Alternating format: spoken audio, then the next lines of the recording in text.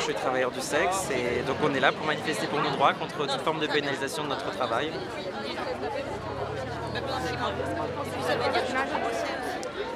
Euh, nous, on veut pas de la loi en fait. Donc, euh, si vous voulez, s'il faut faire une loi, il faut faire une loi pour les droits des travailleurs du sexe. Il ne faut pas faire une loi contre la prostitution ou contre le système prostitueur comme il l'appelle. Euh, et puis, il faut faire une loi aussi contre la pauvreté, pour les droits des migrants, pour les droits des trans, pour les droits des personnes qui sont concernées par le travail sexuel. Donc ça, c'est vraiment un moyen d'améliorer nos conditions de vie.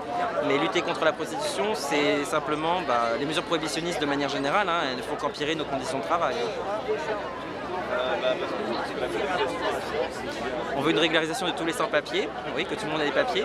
Après, on ne demande pas de réglementation spécifique, on demande simplement le droit commun et l'application du droit du travail comme pour les autres travailleurs. Le, ce qui est le plus efficace en général pour lutter contre l'exploitation des abus, c'est euh, ce qui existe déjà, c'est le droit du travail.